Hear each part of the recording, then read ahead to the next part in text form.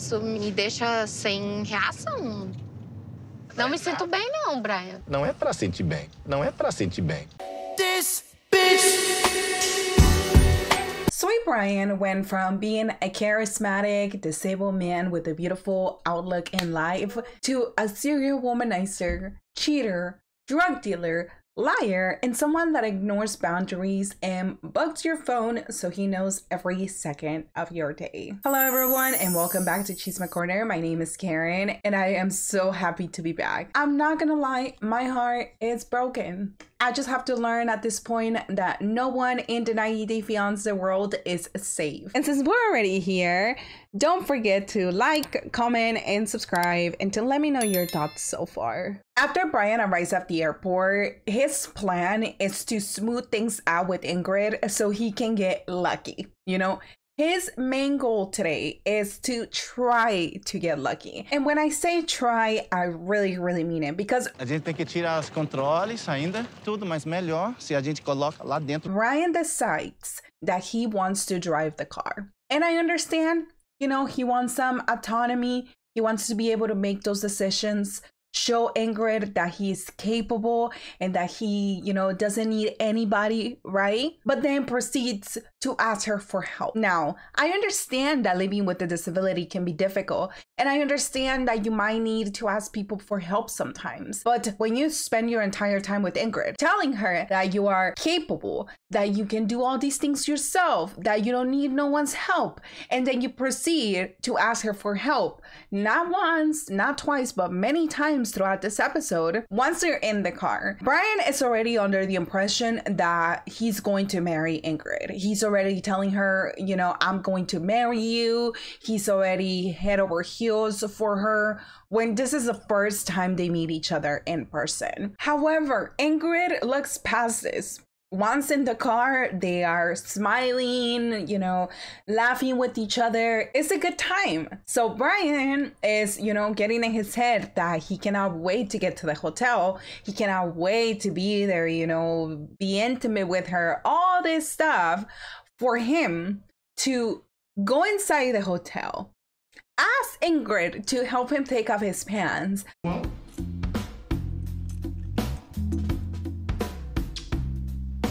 With no indication that they're going to be intimate, Brian decides to take half a blue pill, you know, just in case. You know, this is the first time you guys see each other in person. You haven't even prepared intimacy, and you're already taking a blue pill just in case. Intimacy does not start at the end of the day, starts at the beginning. It starts with you giving your wife a coffee, with you telling her how beautiful she is. But Brian is already under the impression that he's just gonna get it just because. And he continues to tell us that he wants to seem normal while still and constantly asking Ingrid for help. He also shares that intimacy is extremely important to him I don't feel too much down here. even though he can barely feel anything, the fact that you are wanted is what matters to him. Brian says that usually when he meets someone for the first time and they're going to be in a relationship or they are in a relationship, Maybe I'll throw them a little test sometimes and have them help me out and get a gauge of, of their attitude. he starts giving tasks to Ingrid, you know, take off my pants, get over here, I need to get on your shoulders, take this inside the restroom, I need you to stand right there. And, you know, again, I said it in the beginning there is nothing wrong with asking your partner for help. But when you spend the entire time saying, I want to be normal. I'm an independent man that, you know, doesn't need help. And then you proceed to ask for help over and over again. That is the problem, especially because this is the first day you guys are meeting. And if you were trying to be intimate with her, let me tell you, it is not working. The last thing as women, one is to have to be the caretaker of a man. I grew up in a Latino family, and it is extremely common for all the women to do all the chores of the household. I remember that when I got married, I did not want to have to take care of another child. I wanted a man, someone that was independent, someone that could take care of themselves. While in the shower, Brian proceeds to touch himself to put a catheter on. Now, he asks Ingrid if she wants to know how he does it and how he puts it on, and she tells him Não, eu não quero saber, não. Deixa você me explicar outro dia. And what does Brian decide to do?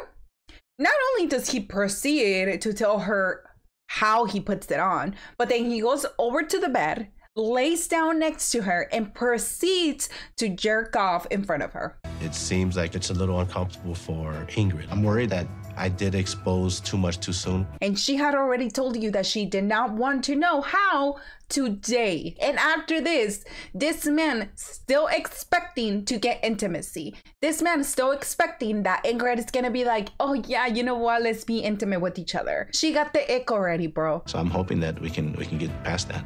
The moment you decide to do that and then proceed with not respecting her boundaries that she put in place already, you already f***ed up. Eu tô confusa porque, porque ele disse que é muito independente. Ingrid shares in her confessional that, you know, she did not expect Brian to start showing her all of these things on the first day that they met. And I agree with her. Me pediu pra tirar a camiseta dele, é, me pediu pra ajudar no banho. You need to ease her into all of this. You can't just shove all the things onto her and hope that she's gonna be okay with it. I also think that Ingrid should have done research on her own. Like I I wholeheartedly believe that every single person that chooses to have a relationship with a disabled person needs to do research. Brian says that even though they didn't have sex last night, they woke up with a happy face. I think she was just a little uncomfortable with everything and a little in shock. You think, Brian?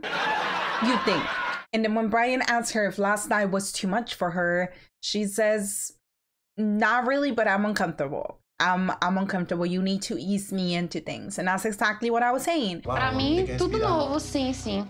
Tem que ter paciência. And now she's saying that she needs to understand him a little better to comprehend why all of this is happening. Brian is actually going to have to stay at a hotel because her house is not accommodated to a wheelchair and she's gonna have to split her time between home and the hotel. Now, once they're on their way, Ingrid asks Brian what he would like to do for fun. And Brian's like, Well, I want to meet people. I want to meet your friends. I want to meet your family. Eu não falei pra muitas pessoas sobre a gente. Eu não falei. And here's where we run into the first problem. Because Ingrid has not been completely honest with her friends or family. Is it the fact that he is on a wheelchair? Probably. Is that the fact that she's not sure about this relationship?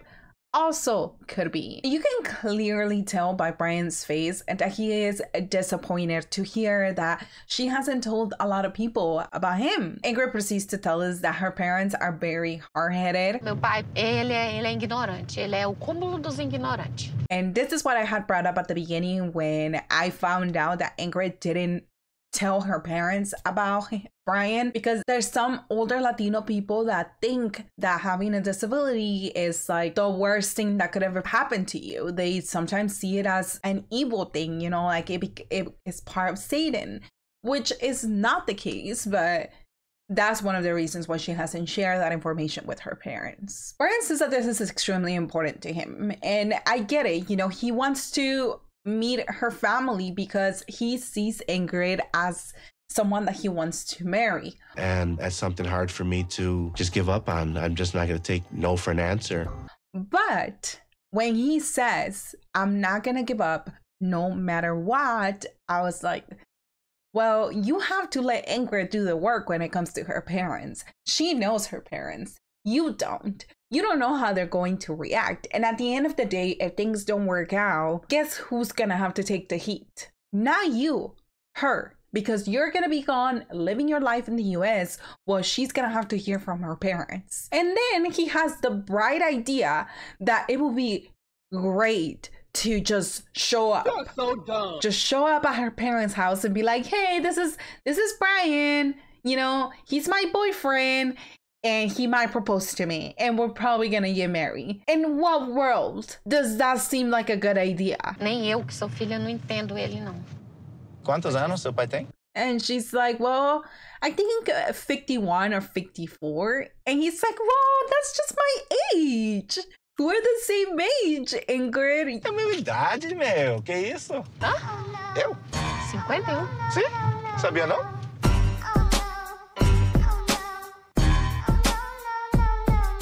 That Ingrid's face completely changed. It's like the devil just sucked the life out of her. And Brian is over here acting like he had already told her. And she's utterly surprised. She's like, No, we didn't. You never mentioned it. Então Menina, você já mentiu tá... a sua idade pra mim. When they met, he was 43. That's what he had said. And if they have been talking for two years, that puts him at 45. But Brian says that that's not something that he would hide because he's not embarrassed of his age. And he has this little like smile when he's saying like, wait, I didn't tell you that I was 51. Yes, I did. And that's the smile that people have when they're freaking lying. I don't think that she's lying because you have a history of lying. As to her, she doesn't. And now the lies are piling up. First, you said you were completely independent. Second, you said you were 45 when in reality you are 51. And there's another one coming that she still doesn't know about. I don't think five years is a big difference. I mean, for me, age is just a number. I mean, I'm still the same guy that And yes, Brian, the problem here is not the age gap. The problem is that you lied about it. You can't just go through life lying your way out of things just because it doesn't benefit you. And without addressing the issue that he lied, without apologizing to Ingrid for putting her in this situation, he just changes the subject. Então, a gente tá... Quanto mais? Duas, mais duas horas? Falta duas horas, hein? And here is where he starts talking about his disability, how, you know, driving is amazing for him because he doesn't have to ask other people to drive him around. Because when he had his accident, at the beginning, he had to ask his sister for help to drive him anywhere. But now he's able to do that. And then Ingrid asks him, How did the accident happen? How did you get here? Hey, y'all, come look at this. Eu tô pensando aí, eu nunca, nunca contei pra você que eu vendi, vendi droga. I never told her the whole story of how I became paralyzed. You serious? And the way he does it is what pisses me off because he goes, I never told you that I sold drugs. No, you didn't. No, you didn't. You're just telling us that you didn't share that information with Ingrid and that you think that right now is a good time because she asked. Esposa. 3 gramos de cocaína na mesa. And he just starts dumping information. Dumping, dumping, dumping information. This is when I met my second wife. I was doing drugs. I was getting drunk. I was doing so many lines of this. And just dumping all this information onto her. The least you could have done to show respect for Ingrid is say, hey, I am sorry that I didn't tell you. I am sorry that I lied to you and that I hid this from you because it's extremely important. But this is something that I did when I was younger. I am not that person anymore, but I can't even believe you anymore. I can't even believe that this is not what you want eh, because your new addiction is lying and being a horrible piece of. Eu tentei pra deixar tudo atrás. Eu precisei um novo. But he says that he wanted to get out of that life, that he chose to change your life because one day he looked into the mirror and he was all the life was sucked out of him. He looked like a zombie. So he then went to tell his wife, Hey, I don't want to be with you anymore because I cheated on you. I don't love you anymore. And then one or two months later, she was like, You know what? I need payback. So then she sent two guys and then they shot him because Brian decided to try to get the gun out of one of them. Pois isso era vida na cadeira. And I believe that you ended on this wheelchair. And then that's when you decided that you no longer wanted to be part of that life. That's how I see it in my eyes. And of course, Ingrid is taken back after hearing all of this. She's like, I don't feel good about this. And what is his response? Não me sinto bem, não, Brian. Não é pra sentir bem. Chill, chill. It's not to make her feel good, idiot. You could have had many responses to your lying piece of shit, and instead you chose to make her feel like she's the problem. One thing that Brian is also doing is that he keeps like looking back at her like, I can't believe that you're upset about this. And it's so frustrating because here you have a guy that's lying his way through life, that's trying to start a relationship with someone from Latin America because he hasn't been able to find anyone in the United States. Anytime that Ingrid discovers a lie coming out of him, he's surprised.